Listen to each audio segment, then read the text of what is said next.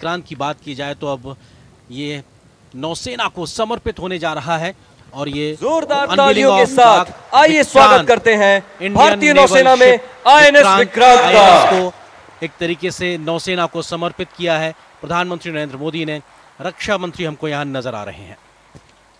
Ships plaque been unveiled by honorable prime minister in the presence of honorable raksha mantri shri rajnath singh. This is going to be soon followed by the presentation of Memento in a while. We also saw a while back Prime Minister, yes, presentation of Memento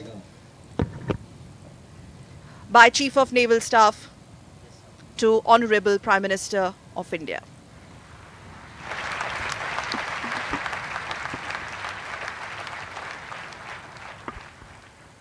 नौसेना प्रमुख admiral R Hari Kumar अब माननीय प्रधानमंत्री जी को INS Vikrant का एक प्रतिरूप प्रस्तुत करेंगे।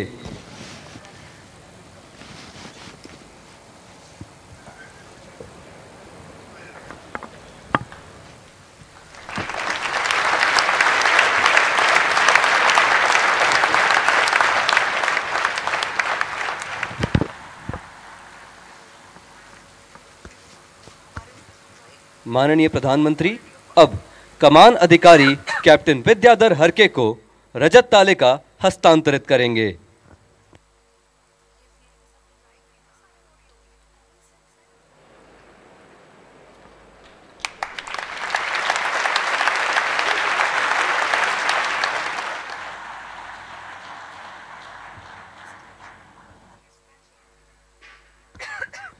अब मुख्य अतिथि, सभी गणमान्यों के साथ छाया चित्रण के लिए स्की जंप की तरफ़ बढ़ रहे हैं।